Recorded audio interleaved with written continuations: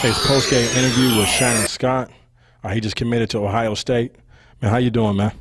I'm doing real well this year. Getting ready to get the season off and popping. Start trying to get a championship ready.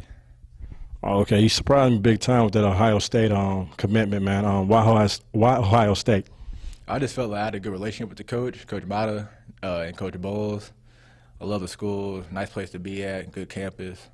And um, if I didn't play basketball, I'd love to go there and be a student there. So that really got me with that.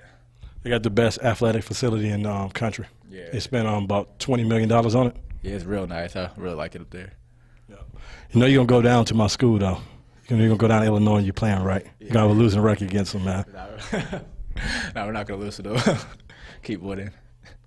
Uh, man, let's talk about the game tonight, man. Um, what was the key to the game um, stuck out in your mind? Uh, we just had to keep control of the game, not let McEachern get the ball to Trae and let him do whatever he wants. We had to stay in control the whole time. I think we did a good job with that. It seemed that you was wide open the whole time. It's like nobody was on you, man. Uh, uh, there are people there. I just try to get myself in scoring position and then go go on with, from there, and then get my teammates involved with it. It seemed like your shot wasn't on, but it it wasn't on, but you were still hitting. You feel what I'm? You feel me? Yeah, like I feel like I don't know if it's gonna go in or not, but then after I got a good feel for it, I feel like everything was gonna go in after that. And you dropped about ten to twelve assists tonight, man. You hooking up your players, man. You um, was it because you just feeling good on your commitment, or, or that's what you do? Well, it's real easy to play with Dai-Jon and Julian and Evan and Jordan, Kevin, Eric. It's like wherever they're at, they can score in any position too. So when I get them the ball, I know they're able to score with it. Are you trying to get one of them or both of them to come with you up there? Oh, I love having that. Have both of them come with me. Be a lot of fun taking some of us other boys up top.